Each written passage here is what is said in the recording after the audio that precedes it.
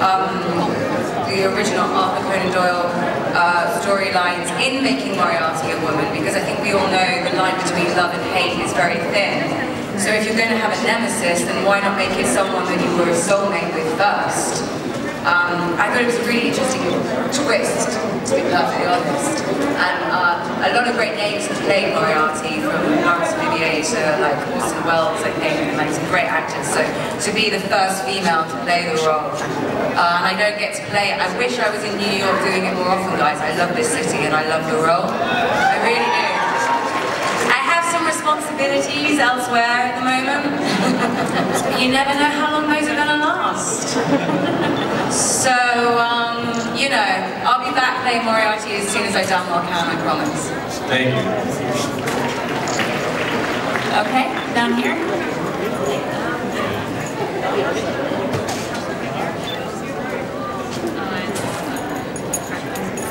Uh, is there a costume that you kind of or like that? Or like something Tyrell's are really lucky. We have like some great costumes. Gorgeous. As you think about this. Yeah, we've got, yeah, ours are really amazing. I don't know like how often I wear my armor, but if I could help it, like I absolutely would rock it. I'd like to keep my um, like green outfit. There's something about it. Yeah. So it wasn't used that often, but it's, it's really beautiful. The guys look so handsome in that you always look so handsome in your like doublet. Um, Bit cut, isn't it? Yeah, It's really like like that three quarter length cut and men in boots is kind of sexy. Although, although the Tyrells don't get much in terms of costume this season.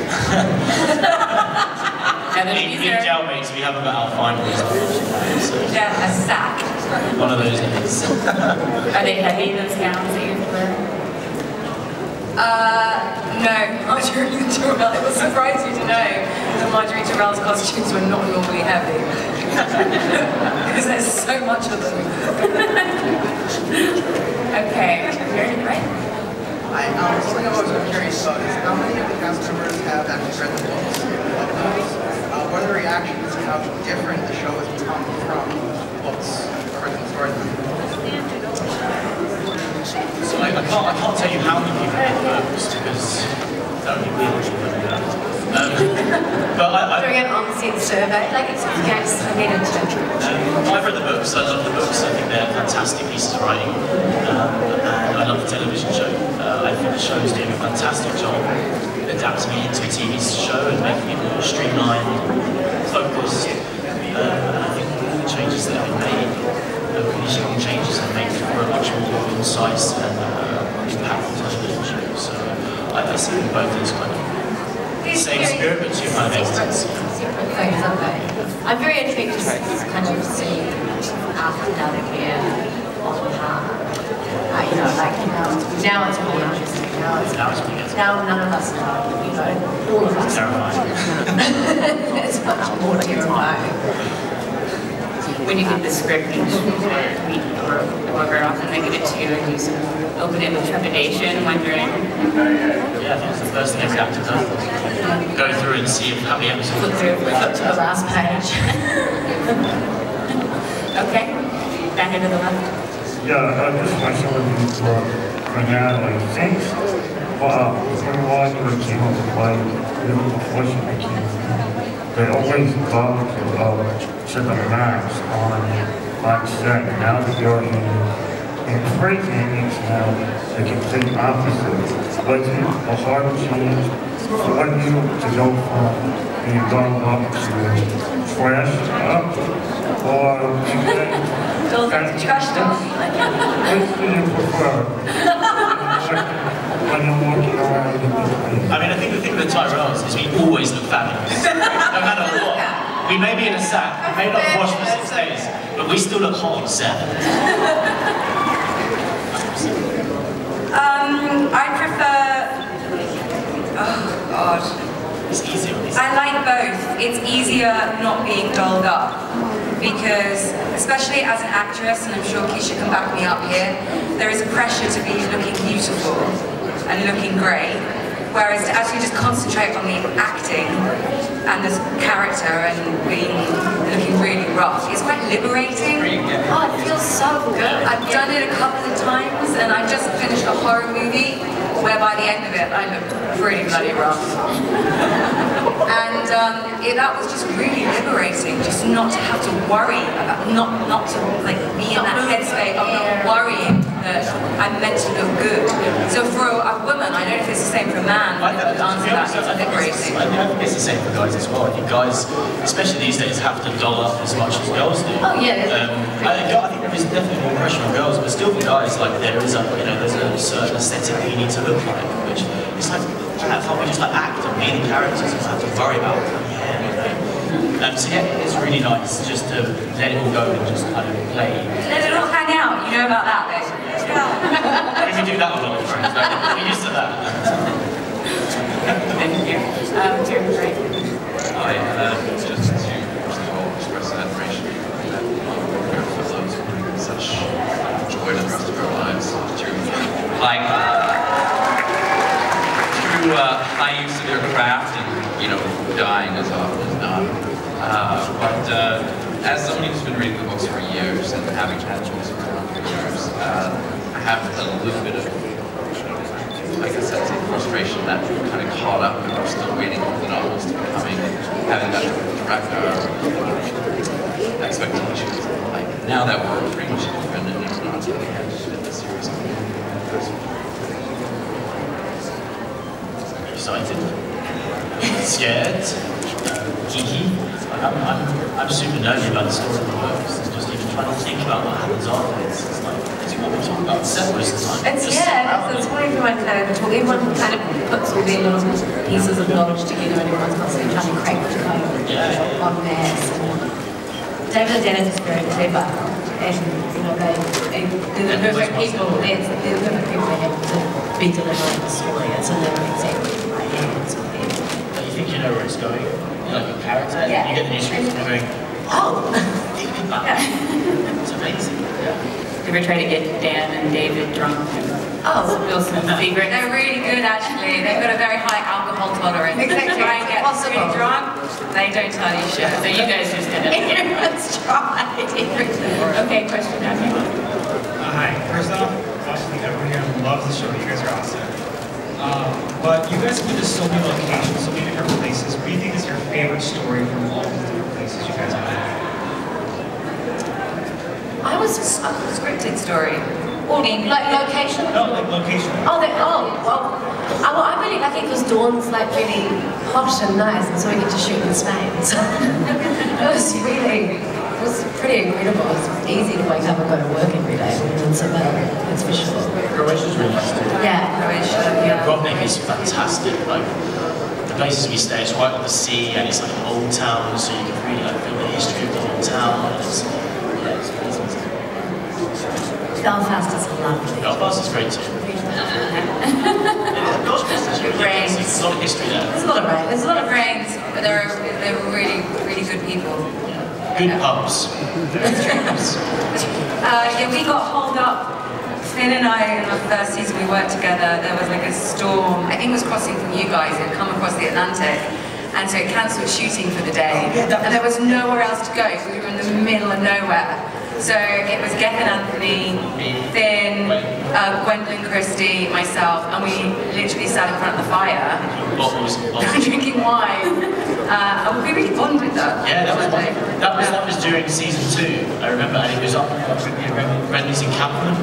So when we was up in the northern of Ireland, we worked the coast, and there was this, yeah, there was this, there was actually this uh, hurricane that came in, and there was an extras tent that was holding about a thousand extras. And whilst the extras were out of the tent uh, working, this hurricane came in and literally took the, this this huge tent up into the air. We had to cancel it. Like, it was crazy. Um, just remember that. Stop talking, you're going to be sued. Hi, so I, me and my mom are huge fans of the show, um, and like we went to like Croatia as well. How old are you? I'm 14. Right on. Right on. Right on.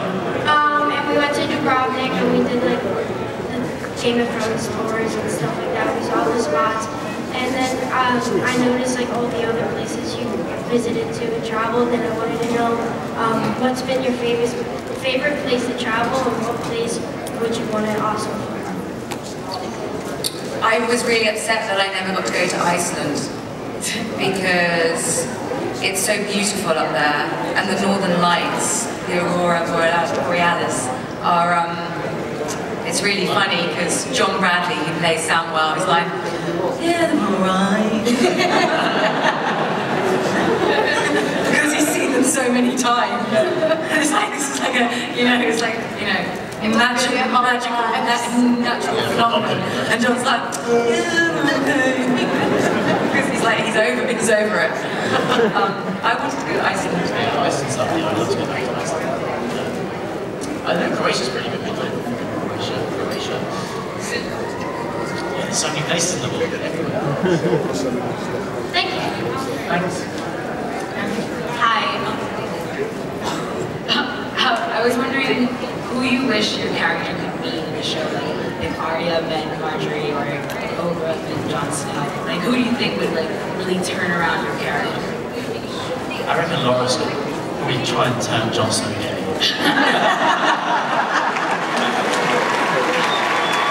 I'd like to see that happen. And also just share like hair tips as well. it would be fabulous. Grand time. Uh, I teach them a thing or two.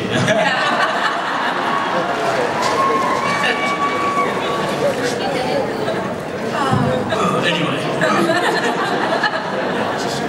I else? I would, I, I've always thought I would love for Obara to team up with Arya because she's like, she's my, she's my favourite character. And just it's for purely selfish reasons because Maisie's really awesome to hang out with. So they're being great. You'd also like badass sisters as well. I reckon Yeah. teach each other some stuff. Yeah, it- it's really cool to see all those like badass girls together. Two of you fighting together would be great. Yeah. Natalie, how about you? I miss Sophie. I miss Sansa. I do, I really love it. I You guys miss her. great together. Yeah, I, mi- I miss her, and I, I think Margaery could help us sort out. Well, she's left now, but she could have helped us sort out Ramsay. Yeah, So, yeah, drink this. If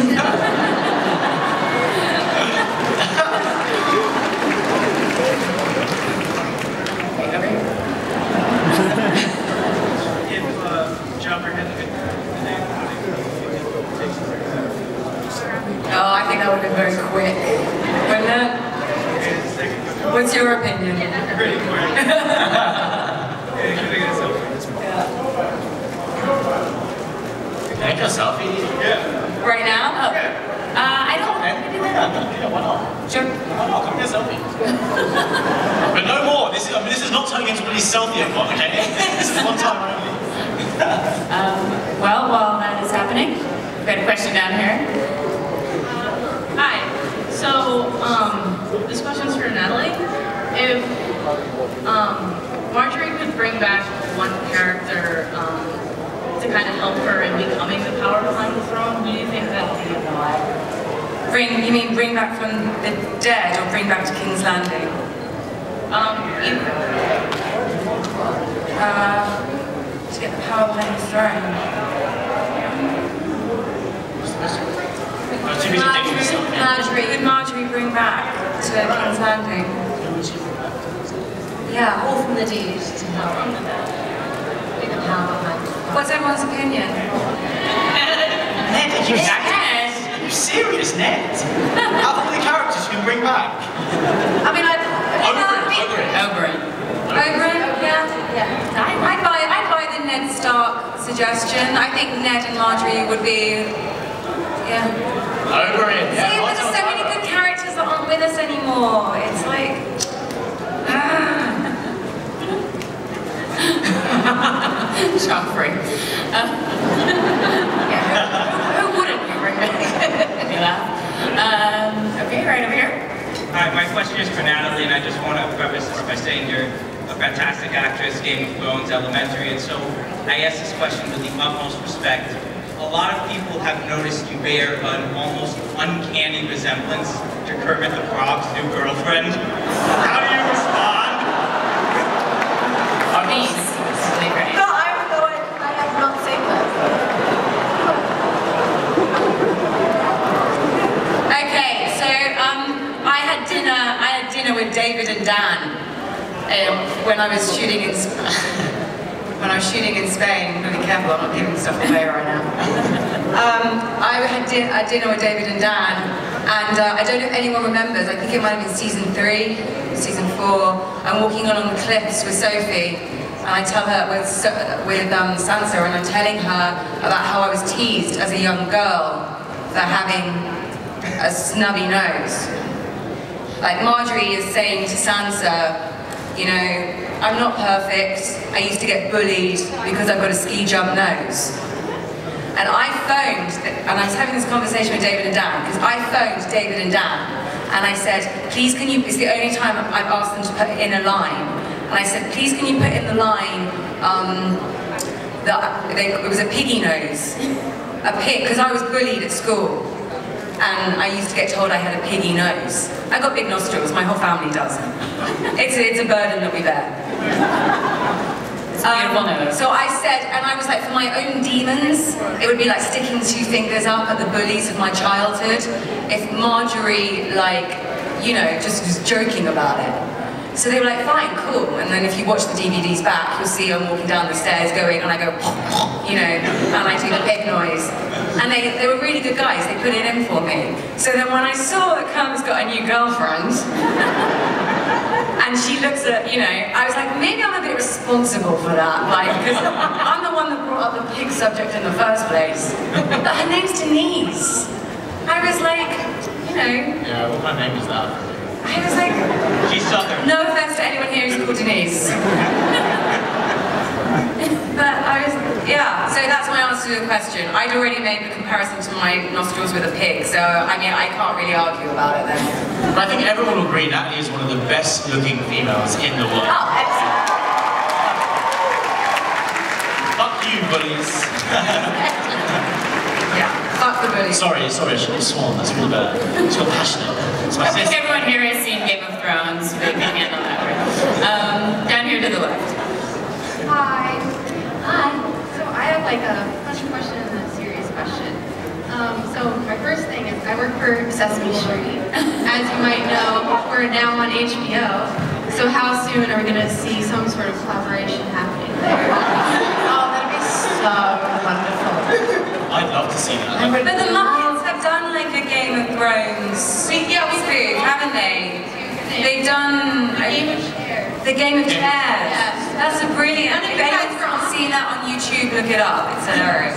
None of you guys were on it, so we gotta get you guys in it. But um, okay, so then I have a serious question on the show. Um, anyway, so you guys were talking about some episodes or scenes that might have been harder to watch, and so with scenes like the Red Wedding, did you expect the type of strong reaction that people gave towards it, and would you expect that scenes moving forward would be looked at differently or filmed or censored in any way? Not that I think that's a good idea, but do you think that might happen? The scenes get censored. like like red wedding, like kind of like